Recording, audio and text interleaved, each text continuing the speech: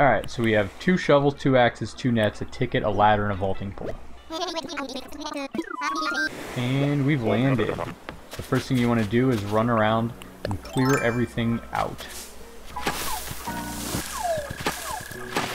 You want to destroy all flowers, all rocks, all stumps, and all trees. Anywhere that bugs can spawn that you can get rid of, you want to minimize. As long as the flowers are picked, they will not spawn.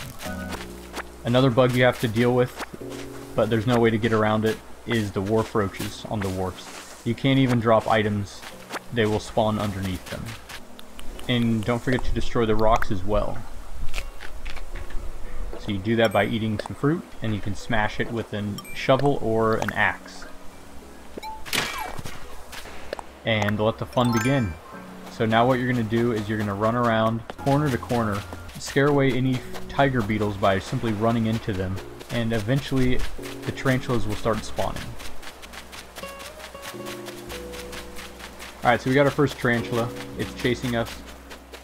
So then we can go to our little spot, hop in, and with good timing, catch our first tarantula. When you get into the holes, hold A immediately, because it's really easy to accidentally leave the holes, and then the tarantula will get you.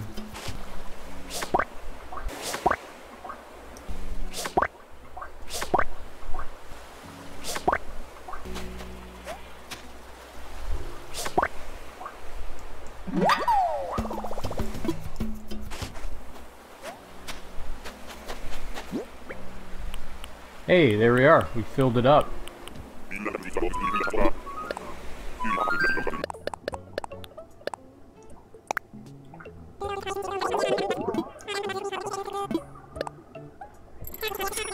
We are.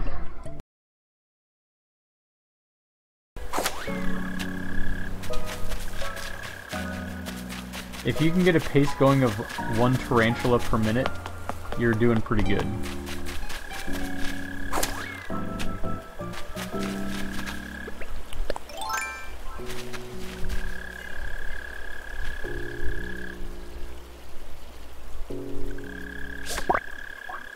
Here we go.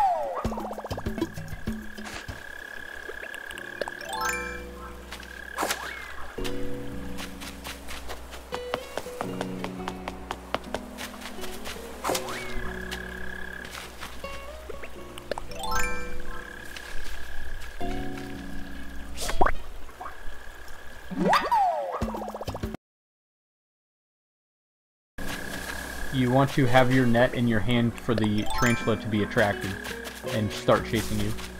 So once it starts chasing you, run over to your little hiding area. I like to put the hole on this side so that way the tarantula gets caught over there and there you go. Shout out to my new friend, and you know it's Brian. Yes, you know I'm playing it. Animal Crossing in my pocket. Damn, pocket cam, I ain't throwing shade. Okay, damn, baby, shout out Brian MP.